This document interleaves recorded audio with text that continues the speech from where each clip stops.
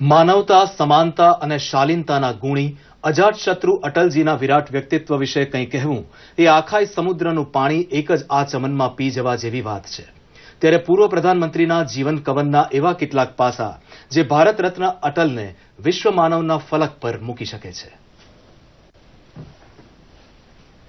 દેશના પૂર્વ પ્રધાનમંત્રી અટલ બિહારી વાજપેયીને ન માત્ર ભારત વર્ષનો ઇતિહાસ, પરંતુ વિશ્વની રાજનીતિ ભારત દેશના સુવર્ણકાળની એક તવારીખના રૂપે યાદ કરશે. દેશની રાજનીતિમાં રુજુ હૃદય, સંવેદનશીલ કવિ, પ્રખર વક્તા અને મુઠ્ઠી ઊંચેરા માનવી સાથે વિશાળ વ્યક્તિત્વના રાજનેતા તરીકે તેઓ અમરત્વ પામ્યા છે.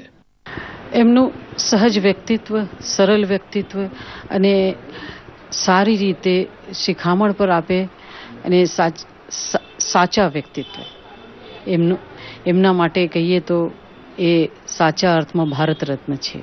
એમનું બિલકુલ સાદું જીવન છે ને બિલકુલ વિચાર એમના બિલકુલ સિમ્પલ છે. અને બિલકુલ એમણે કહી દીધું હતું કે ભાઈ તમે ઘડી ઘડી દિલ્હી આવશો નહીં. અને જે પણ કંઈ આ ગુલદસ્તા લઈને ગયા હતા અમે તો એમણે તરત જ કહી દીધું ભાઈ આવો ફાલતુનો ખર્ચ કરશો નહીં બાલ્યાવસ્થાથી જ શિક્ષણ સાથે કલમ અને છલોછલ સંવેદનાથી તરબતર યુવા અટલજી પોતાના વિચારોને કવિતામાં ઢાળતા પછીના થોડા જ વર્ષોમાં તેઓ ઊંચા ગજાના કવિ અને વક્તા સાબિત થયા हम विजयी हुए हमें विनम्रता है पराजय में तो आत्म मंथन होना चाहिए अध्यक्ष महोदय परमाणु परीक्षण के बारे में श्री चंद्रशेखर जी ने कुछ विचार व्यक्त किए मुझे खेद है कि मैं उनके विचारों से सहमत नहीं हो सकता उनके उनके चिंतन की एक विशिष्ट धारा है अध्यक्ष महोदय तेरह महीने के अपने कार्यकाल में कभी हमने अंतर्राष्ट्रीय दबाव में आकर कोई फैसला नहीं किया न हम आगे करेंगे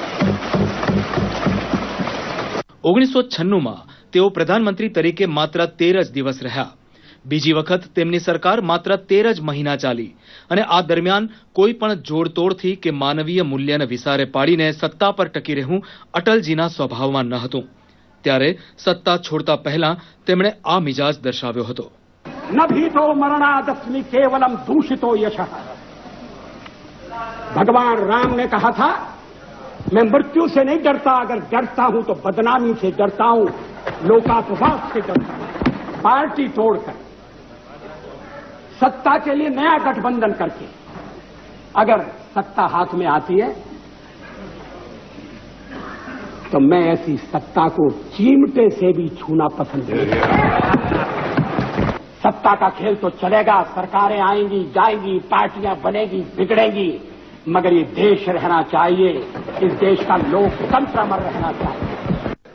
અટલજીની સદાકાળ યાદ રહે તેવી સિદ્ધિઓ પણ ઘણી છે. તેમણે તેમના કાર્યકાળ દરમિયાન પોખરણમાં પરમાણુ પરીક્ષણ કરીને શક્તિ બતાવી હતી. અગિયારમી મે ઓગણીસો અઠ્ઠાણુંમાં રાજસ્થાનના પોખરણમાં પરમાણુ પરીક્ષણ થયું. તે સાથે જ ભારત ફરીથી પરમાણુ શક્તિ તરીકે પ્રસ્થાપિત થયું હતું. એ પરીક્ષણથી ભારતની શાન વધી હતી. અમેરિકા જેવા દેશો વિરોધ કરશે એવી પૂરી શક્યતા હોવા છતાં પણ વાજપેયીજીએ વડાપ્રધાન તરીકેની બીજી ટર્મમાં પરમાણુ પરીક્ષણનો હિંમતભર્યો નિર્ણય કર્યો હતો. ભારત શક્તિશાળી બને એવું કોઈ ઈચ્છતો નથી.